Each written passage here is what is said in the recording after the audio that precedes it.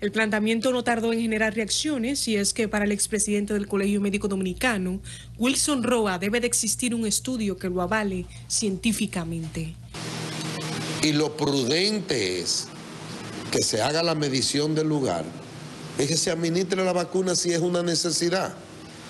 Pero yo me puse la dos dosis. ¿Qué garantía tengo yo que me hizo o no efecto? No lo sé. Y como estamos hablando de salud, hagamos la medición. Roa entiende que las autoridades deben replantear la estrategia sanitaria. El propio protocolo que se diseñó aquí y que el año pasado en un tramo de la pandemia dio resultado, el propio gobierno lo ha violentado. Y entonces entienden que es más fácil pasar a una tercera dosis que ajustarnos a la investigación científica. En tanto que ciudadanos consultados no descartaron la posibilidad. Lo dijo el doctor Nieves hasta 11. Es decir, no importa cuántas veces sea necesario. Si la Organización Nacional de la Salud lo autoriza, sí, lo veo muy bien. Porque así estamos más protegidos para nuestra familia.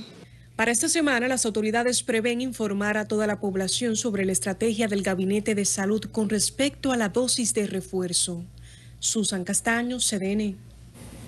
Esta ha sido la comidilla del fin de semana. Mucha gente dice, incluidos sectores de la parte médica del país, que no estamos preparados para una tercera dosis, que esto es un proceso experimental a nivel internacional y que de dónde sale el estudio que daría paso a una tercera dosis en República Dominicana, cuando en ningún país todavía se está aplicando la tercera dosis. Hemos salido a la calle, nuestra compañera Carolyn Cuevas se encuentra preguntando